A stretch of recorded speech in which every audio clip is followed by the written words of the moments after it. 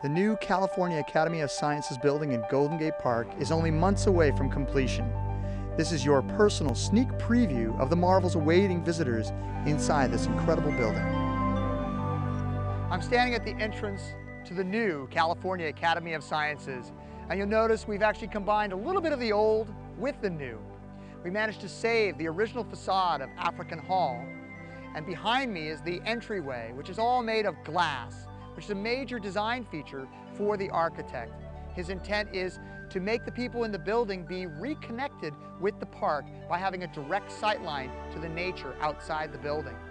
That's one of many innovative features that are incorporated into the design, and I'll point out more as we go through the building. So uh, anyone who has visited the old academy is going to recognize this hall. This is Africa Hall, and what we did was we actually uh, recreated it and took castings of the original ceiling and all the major elements in the hall. But we're going to add some new elements in Africa Hall, most notably at the end, African penguins, uh, live South African penguins, and it's going to be a great space that people are going to love. This is the new planetarium, and it's going to be a state-of-the-art new digital planetarium. So if you remember the old planetarium, this is very, very different. The old planetarium was flat. Now it's going to be more amphitheater-style seating, and everybody's facing the same direction, looking at the same thing. Anybody who's been to the Academy recognizes these pillars as the entryway to the Steinhardt Aquarium. The reality is we've actually had to recreate them.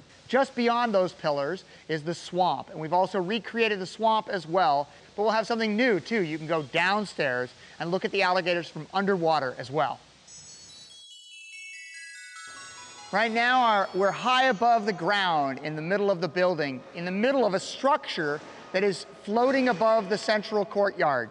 This structure has glass on the top, and it will also have an opening in the middle to let in the natural air. But we'll also have retractable rain shades that can be drawn over and protect the space in the winter, so we can be using this area year round. Right now I'm standing in the Rainforest of the World exhibit. This is a 90 foot diameter glass sphere in the middle of the building. When you come in, you'll come in on the ground floor into this open area with the trees, and you'll feel the hot humidity and the temperature of what it's like actually to be in a rainforest. And basically we have a gallery that focuses on what you would find in the understory of a rainforest, but specifically in Borneo. Then you'll take a ramp, wind your way up to the second level, coming out among the trees. Then you wind up the ramp again and get out to the top, where on the top level, you'll be experiencing the canopy of a rainforest. There we'll have free flight birds and butterflies. Then you step into an elevator and it has glass on one side. You start to slowly descend down, but instead of stopping at the first floor where you started, you actually go underwater. You step out of the elevator, and that delivers you into the rest of the aquarium in the basement. This tunnel that I'm walking through right now is actually a continuation of the rainforest. It's an acrylic tunnel that's part of an aquarium tank where you can get face to face with arapaima, arowana, and pacu, animals that live in the Amazon River. This tunnel is also a passageway that will take you into the aquarium in the lower part of the academy. And behind me is the water planet. Water planet will feature what the Academy is famous for, all of the small tanks that have unusual and unique fish in them. But instead of being the typical rectangular tank where you're looking into a window, what the designers have done is come up with a wall that represents an abstract wave. And the, where those waves part, we can look into the tank and see the animals inside that.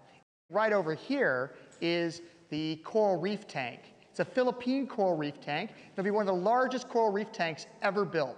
We'll have all living corals that have been captively grown, and we'll have over 4,000 fish. The salt water that we use in the aquarium actually comes from Ocean Beach.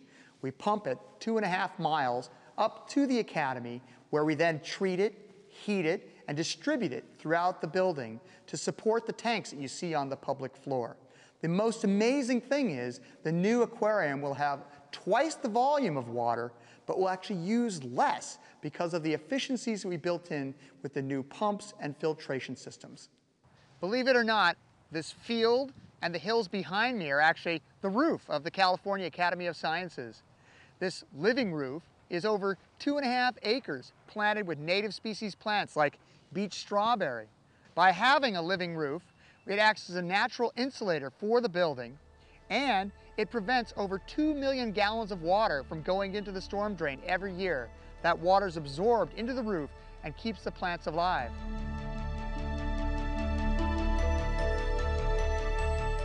When the new California Academy of Sciences opens in the fall of 2008, I can tell you that visitors will be amazed by this visionary building and the incredible exhibits it will contain.